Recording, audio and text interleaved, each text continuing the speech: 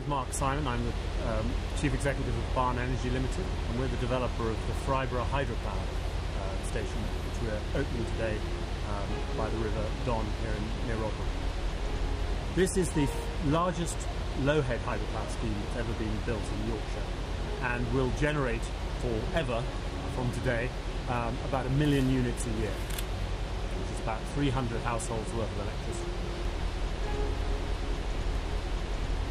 We're investing 2.1 million pounds in uh, infrastructure here in, in Rotherham, and this will bring um, uh, renewable power using the power of the River Don for the next 100 years.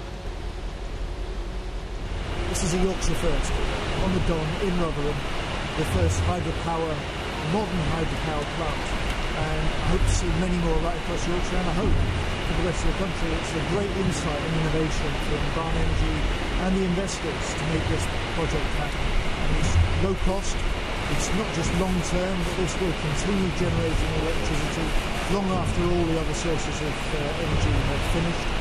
And it's absolutely good for the environment. There's no impact, no impact for the way the place looks. But more than that, it's helping get fish upstream for the first time, repairing a lot of the damage in this old industrial area. So, you know, hats off to Barn Energy and everyone involved in the project. What we have found is enormous support for what we're doing, particularly amongst the angling community, who took, once they took time to understand what we were doing, understood that part of this project is not just renewable power, which is inherently a good thing to be doing, but also fish passage, which allows salmon and sea trout travelling up the River Don, which itself is a remarkable step forward, along with eels and other coarse fish, to travel up uh, from one section of the River Don to another, which is important connectivity and biodiversity. I'm Martin Reid, I'm chairman of two local angling clubs with hundreds of members, all of whom fish on this stretch of the River Don. It puts the weir into use again. All the weirs on the Don were, were built for the purpose. And as industries died away, the small industries, they've all just lost their purpose. This now gives Thrybergh weir a new purpose, generating electricity and letting fish live. All throughout building this piece of equipment and the fish pass, uh, Yorkshire Hydropower have been in close touch with us. We've known everything that's been going on. It's been an excellent uh, journey. Our landlords here at the Canal and River Trust have very much been the inspiration behind this. This is their weir that we're building on, and the Environment Agency, whose land we're building this on, and who also are our licenses and have been big supporters in what we've done for the fish. The, the site will generate renewable electricity. This is one of our charitable objectives that we, we want to see renewable energy generated on and alongside our network. And this is one very important part of this um, that we're very pleased to be associated with. I'm Austin Flather, I'm a chartered civil engineer and I have been the lead designer on this project. This project is quite large. Um, as, as run of river Hydro goes in England, this is one of the larger ones that's out there. Um, that's made it fairly unique, based more on scale than anything. Yeah, I've been involved right from the very beginning to make sure that this, this scheme received its licenses and its permits. The first half of the project is done just getting permits, licenses and approvals to proceed. Then we move naturally into design. We have to design and detail what we're going to build. And then obviously, as you see today, we come out and we, uh, we build.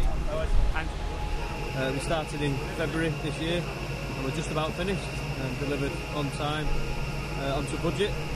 80% of uh, the um, contracts have gone to British firms. Yeah, it's a, it's a very important project. You know, we we work uh, across a wide range of uh, sectors, and it's something we want to we want to get into and continue to work with. Yeah, definitely want to see more hydroelectric schemes, and personally myself manage them because I think they're uh, you know, worthwhile in the long, you know, in the long term. I was born and bred in the in the Don catchment many many years ago. At that time, it was an open sea.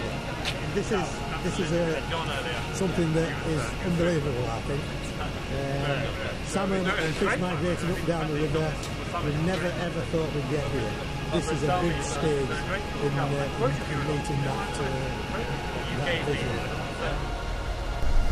What is remarkable about this is that it is now the most modern, as you say, largest hydropower generating plant in Yorkshire. what I hope is this is the first as well. So I hope the commission last night in Wakefield on Calder and then potentially at Knottingley on the Aire as well into this in Rotherham here at the will be the first of a series of new hydropower stations in Yorkshire. It produces power 24/7 for most of the year. So this this power station will be running for about 95% of the year.